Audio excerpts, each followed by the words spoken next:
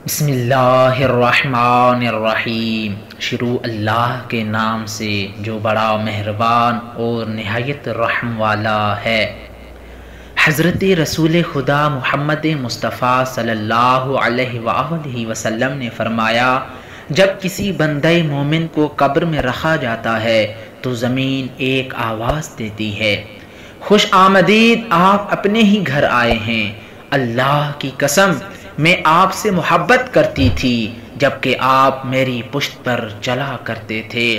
اب بھی آپ میرے پیٹ میں داخل ہوئے ہیں۔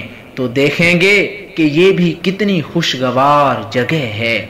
آپ دوستوں سے گزارش ہے کہ ایسا نہ ہو کہ آپ ایسے اعمال و افعال انجام دیں کہ یہی زمین کہ جس کے پیٹ میں آپ داخل ہوں گے تو آپ کو اسی قبر میں عذاب میں مبتلا ہونا پڑے۔